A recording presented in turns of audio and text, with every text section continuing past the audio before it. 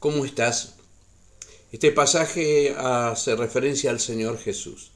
Dice, bienaventurados sois o son cuando por mi causa os vituperen y digan toda clase de mal contra ustedes mintiendo.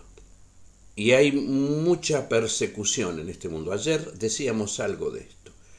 A los cristianos se los persigue porque tienen una posición firme en cuanto a la vida, en cuanto a la familia, en cuanto a la identidad de hombre y mujer, en cuanto a hablar de Cristo. Se les persigue, se nos persigue, se burlan, pero somos bienaventurados si sufrimos por causa de Cristo. Yo te invito a tener a Cristo en tu corazón y estar dispuesto a sufrir por la verdad, por la vida, por Jesucristo. Recuerda que te espero este viernes y este sábado en Palermo a las 7 de la tarde en el Festival Palau.